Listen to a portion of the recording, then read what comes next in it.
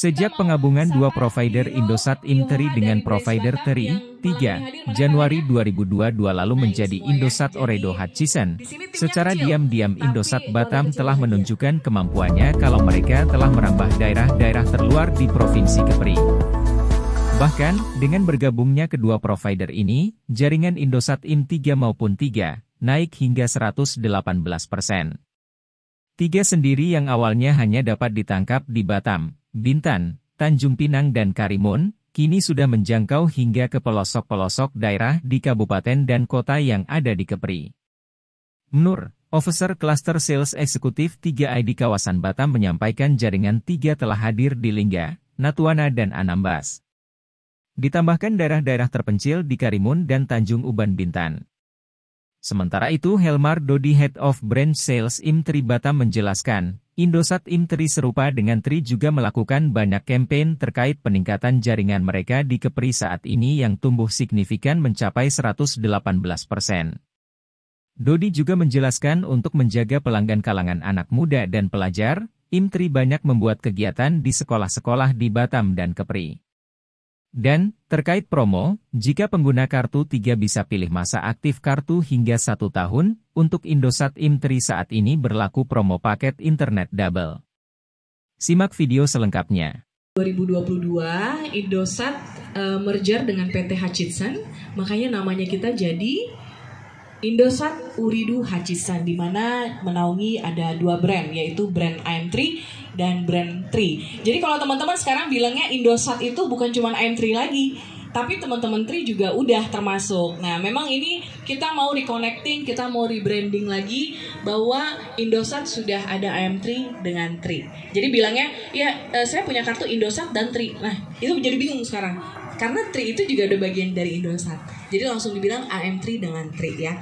Nah, sesuai tema halal bihalal Indosat. Uh, semangat pagi semuanya. Pagi. Nah, terima kasih para rekan-rekan media yang ada di Batam. Uh, pada malam ini kita dikasih umur panjang, kesehatan, itu yang kita harapkan. Mudah-mudahan kita semua kita bisa berkumpul ke sini saling kenal dan saling mengenal antara kita dan bapak-bapak yang di sini. Ya, perkenalkan nama saya Nur, bisa dipanggil Pak Ci, ya. Asal saya dari Banda Aceh, dari Aceh. Saya udah lama juga di Batam, udah ada mungkin hampir 7-9 tahun ada mungkin di Batam. Cuman bolak-balik sempat apa sempat pindah dari Batam ke setahun. Sekarang balik di Batam, ya. Oke, makasih. Uh, Assalamualaikum warahmatullahi wabarakatuh. Waalaikumsalam. Uh, kalau dari nama mungkin teman-teman udah pada tahu apa kalau uncu itu dari mana? Biasanya kalau uncu itu dari Padang ya, ya. kalau ocu itu dari Riau. Ya, ya. Nah, jadi uh, saya Lemar Dodi uncu saya baru di sini di Batam kebetulan baru setahun. Jadi tadi uh, ngobrol dengan abang-abang dari rekan-rekan media.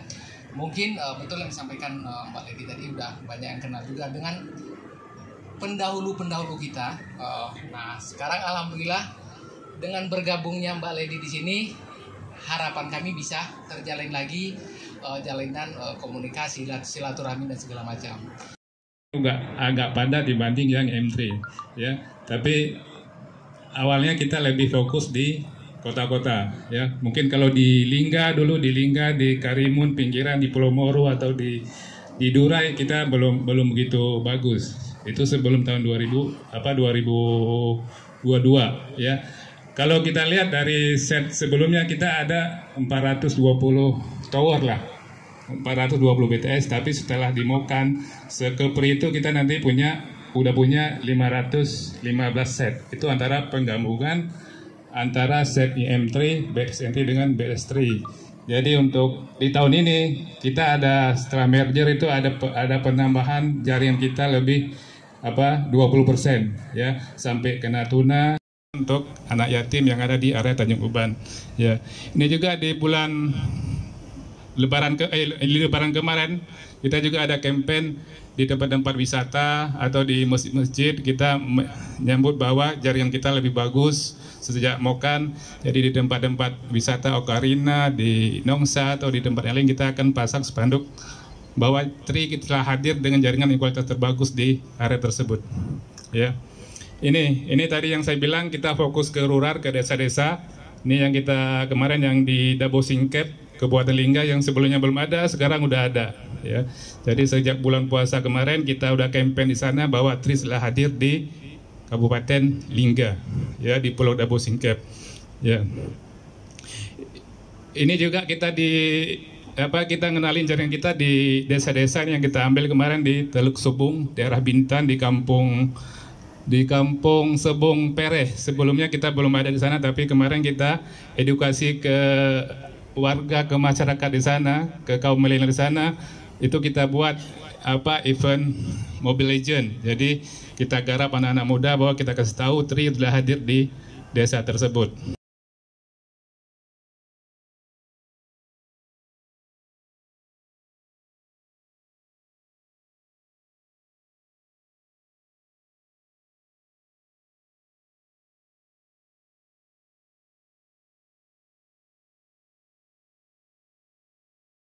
Setelah merger ini kita ada uh, penambahan boleh dibilang dua kali lipat.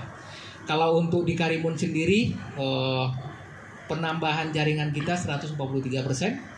Kemudian di Kota Batam sendiri yang paling banyak uh, sekitar 160 persen penambahan dari dari existing sekitar uh, 238 eh 138 sorry. Kemudian uh, di Bintan penambahan jaringan kita sekitar eh, uh, 52 persen.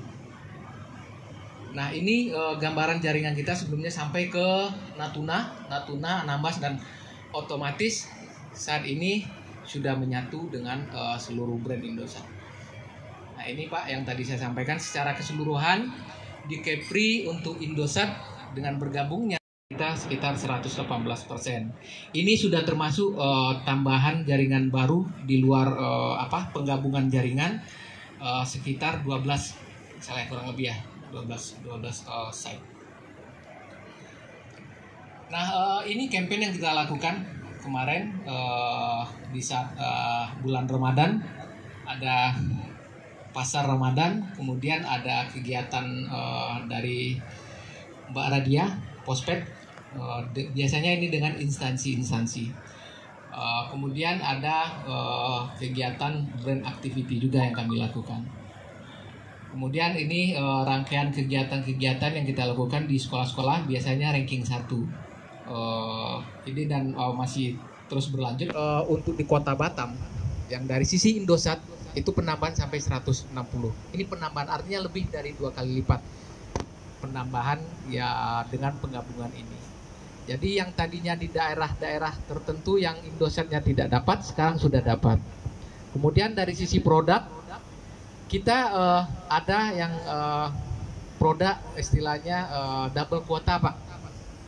Double kuota uh, itu yang andalan kita saat ini. Misalkan kalau bapak ke outlet, 3 giga itu kuotanya jadi 6 giga. 3 giga kuota 6 giga uh, apa uh, kuota isi kuotanya 6 giga 9 menjadi 18 dan harganya tentu jauh lebih murah dibandingkan dengan uh, operator sebelah